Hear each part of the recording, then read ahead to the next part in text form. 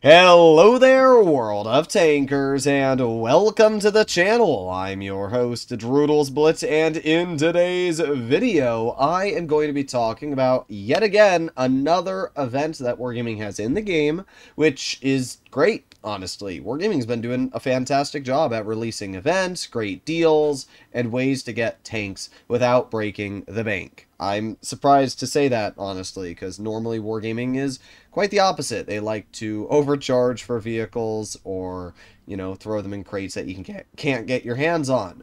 But this week we have the Mystery Hack Draw. And normally draws cost gold or even coupons with the current Black Friday event, but this draw you are able to get your hands on by simply completing daily objectives. We can see that we have these little tokens here, and you need in total, I don't know, like 77, 70, 60. So that's like 200-ish there, maybe 250 there. So in total, you probably need like 400, 300 of these tokens to complete the entire event. But if we take a look at our daily missions, you can see you can get five tokens for each daily mission. And I think there's 10 in total. 1, 2, 3, 4, 5, 6, 7, 8, 9, 10. Yeah, so you can get 50 of these tokens a day.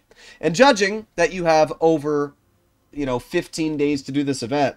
That means if you can get five a day, that's 50 a day, times over 10 days, you literally have plenty of time.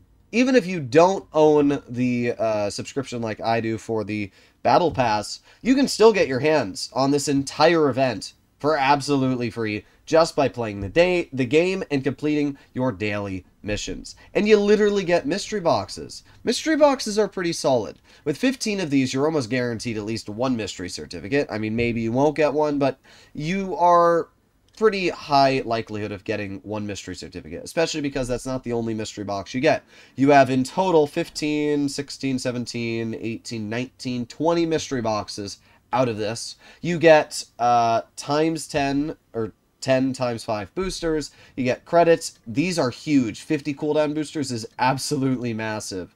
So overall, this is just a fantastic event, and uh, I would highly recommend that every single player partakes in this because if you're not, you're honestly kind of a fool. And I figured might as well open up some mystery boxes here. Wargaming doesn't allow you to do it on press accounts, but I am not on a press account. So let's open 16. We'll make it pretty close to how many you can get there and we'll see what we can get out of 16 mystery boxes. Knowing my luck, probably nothing, but we're going to find out. We get 200 gold, we get some XP, 200 gold, oh, we got a mystery box level 2. So each 15 mystery boxes you open, you will get a mystery box level 2. And there you go.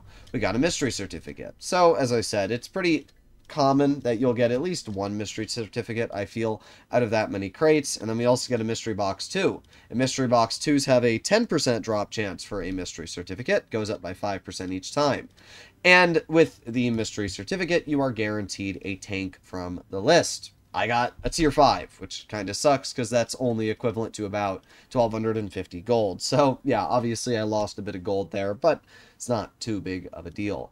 Point being, this is a fantastic little event to quickly grind your way and earn some free stuff. So make sure you partake in it. And uh, yeah, I'll see you all in the next one. Bye-bye.